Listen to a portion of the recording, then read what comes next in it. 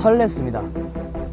왜냐면 일단 처음 타보는 거고 뭔가의 로망이 있었기 때문에 그런 게 해보고 싶었어요. 영화 같은 데 보면 이제 막 남자 주인공이 여자 주인공을 위해 비행기나 헬기 같은 거를 띄워서 같이 타고 가서 하늘에서 바라보면은 그 숲, 울창한 숲. 그걸 보고 있는 여자 주인공의 표정이 정말 설레거든요. 내가 오늘 여자 주인공인가? 아쉽게도 동혁이지만 동혁이와 함께하는 love love story. 하늘 높이에서